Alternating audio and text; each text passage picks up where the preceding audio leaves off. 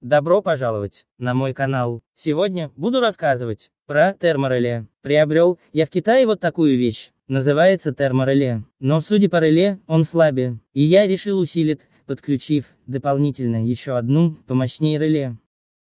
Вот электронное реле. Вот этот прибор, который я рассказывал, я уже один сделал, и он у меня работает. Здесь принцип такой, когда газовый котел отключается, термореле отключает циркуляционный насос. Котел уже отключился, и когда температура упадет до 34 градуса. Прибор отключить циркуляционный насос. Датчик температуры установлен на поверхности входного крана, системы отопления. Сам прибор питается от сети, 220 вольт. С этими кнопками задаешь нужный режим температуры, здесь их просто не видно. Термореле сработало, и он отключил циркуляционный насос. Не забудьте подписаться. Вот я уже собрал полностью, сейчас будем тестировать. Датчик температуры будем нагревать с помощью паяльника. Смотрим на измерительный прибор, он подключен на выход, термореле, так как показаний нет, термореле выключен. Он должен сработать при температуре 34 градуса. Вот он включился.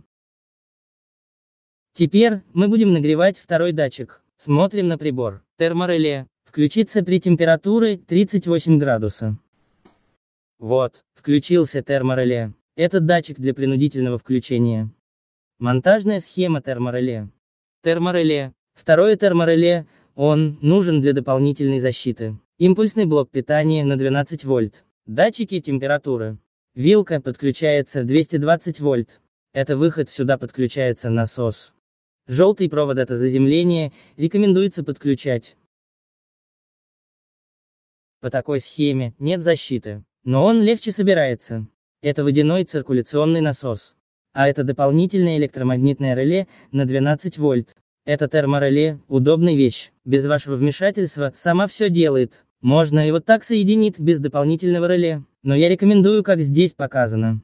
Принцип работы термореле. Например, мы настроили на 40 градус. Датчик закреплен на поверхности краника. И когда краник нагреется, температура будет расти, пока не достигнет до 40 градуса, реле еще разомкнутом состоянии, насос тоже не работает. Температура потихоньку поднимается.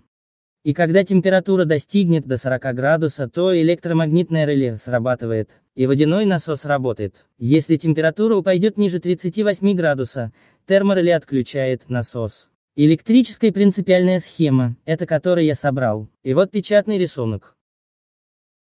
Вот как выглядит термореле. На этом, пожалуй, все. Надеюсь, вам понравилось, а я с вами прощаюсь до следующего видоса.